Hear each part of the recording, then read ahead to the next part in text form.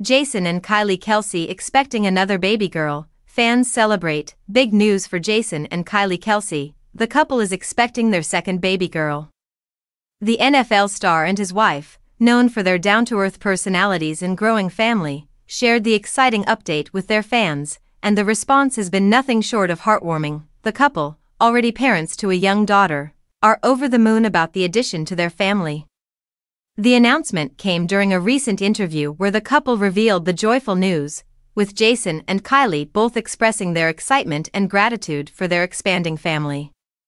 Fans flooded social media with messages of love and congratulations, thrilled for the Kelces as they prepare to welcome another little one. Jason Kelce, who plays for the Philadelphia Eagles, has been in the public eye for years due to his NFL career, but it's his role as a father that has truly captured fans' hearts.